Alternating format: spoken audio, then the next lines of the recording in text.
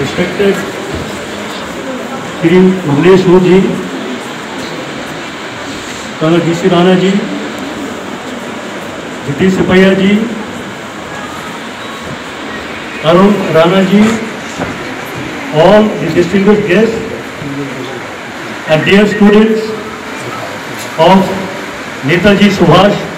College of Nursing. I am extremely happy to be here with all of you today on this auspicious occasion of the 126th birth anniversary of Netaji Subhash Chandra Bose. Netaji has been a tall figure of our freedom struggle. As has been said by everybody that at the tender age of 22 years, he qualified the civil services examination and stood fourth in overall merit. And having come from such an affluent family, yet within one year of his qualifying the civil services, he resigned from his post, basically due to the love for his nation. He wanted a nation to be a free nation free of the British rule. I'll not take much time in giving out his achievements, but definitely I would like to share some of his very important quotes,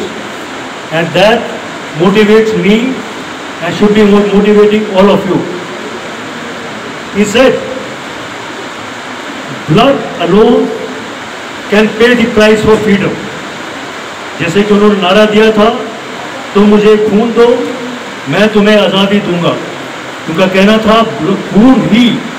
जो आज़ादी का की कीमत है उसको अदा कर सकता है then is said the freedom is not given it is taken आज़ादी को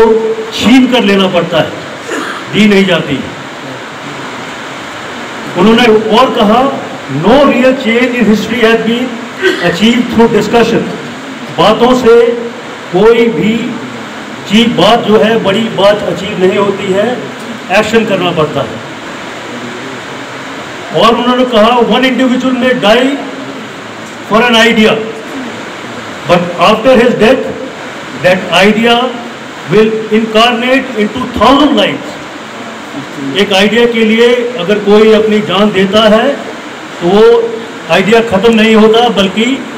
एक हज़ार और लाइफ पैदा होती हैं उस आइडिया को आगे ले जाने के लिए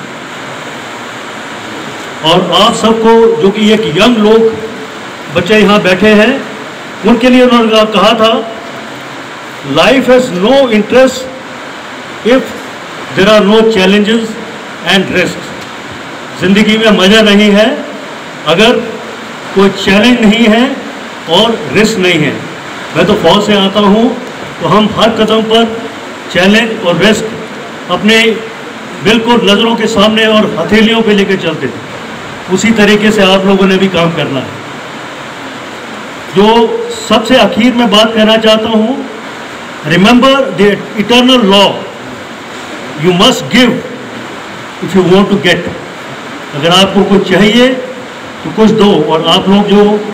अभी नर्सिंग का काम कर रहे हैं सीख रहे हैं यहाँ पर स्टूडेंट्स हैं मुझे बहुत गर्व से कहना पड़ता है कि आप लोग जो एक इंसानियत की सेवा कर रहे हैं वो सेवा की भावना और किसी में नहीं है खास करके आज के कोरोना काल में जो खास करके जो हमारे वॉरियर्स हैं जो काम कर रहे हैं लोगों की सेहत के लिए उनकी जीवन रक्षा के लिए ये बहुत बड़ा आप लोगों का कर्तव्य है और आप लोगों का बलिदान है मैं सबसे आखिर में जो यहाँ पर जितने भी बच्चों ने परफॉर्मेंस दिया उस परफॉर्मेंस के लिए I would wish to congratulate all the performance